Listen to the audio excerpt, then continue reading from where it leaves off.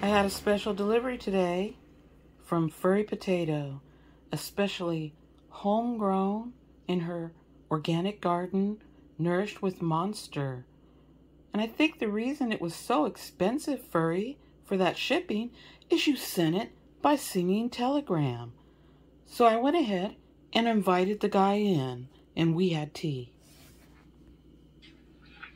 I've tried, tried, tried, and I've tried even more. I've cried, cried, cried, and I can't recall what for. I've pressed, I've pushed, I've yelled, I begged in hopes of some success. But the inevitable fact is that it never will impress. I've no more fucks to give, my fucks have runneth dry. I've tried to go fuck shopping, but there's no fucks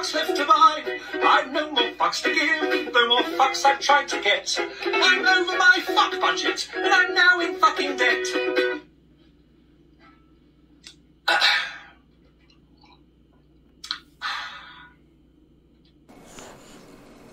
Here we go. First ever recording of a flying fuck. I can't remember the last time I had a fuck to give. Thanks to Furry, my ability to give a fuck has been restored. Appreciate it. Thanks. I do wonder if it will last.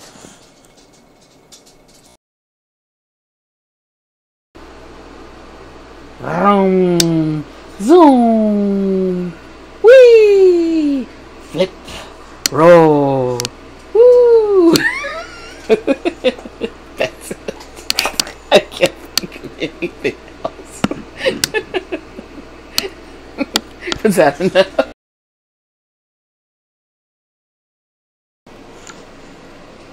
Oh, look at the birdie. That's my pet parakeet. His name is Bob. Bob looks pissed off.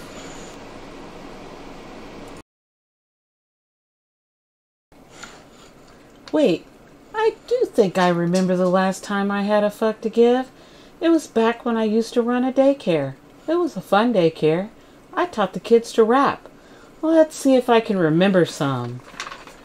We're the boys in the Didey, the Similac crew. You don't need your mama to breastfeed you. You got babas, binkies, toys galore. It's time we got up off of that floor. We're the girls in the daycare, the Similac crew. The boys be crawling, drooling, and wearing a bib. You need to grow up to hang in our crib. Hashtag white girls can't rap. Good thing was, the kids were non judgmental.